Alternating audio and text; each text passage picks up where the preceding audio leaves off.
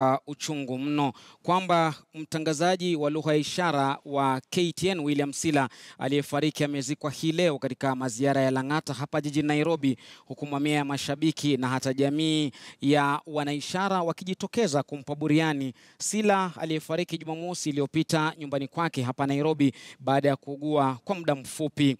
Sila alijiunga na Standard Group mnamo mwaka 2015 ambako amekuwa akifanya matangazo kwa lugha ya ishara. Mwenda zake amemwacha mjane na watoto watano. Mola awafariji jamaa na marafiki na vilevile vile watu wasiokuwa na uwezo wa kusikia wakati huu mgumu.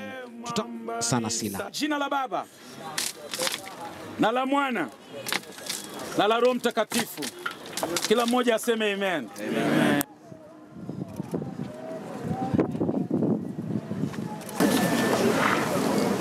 These are the colleagues who worked with our brother.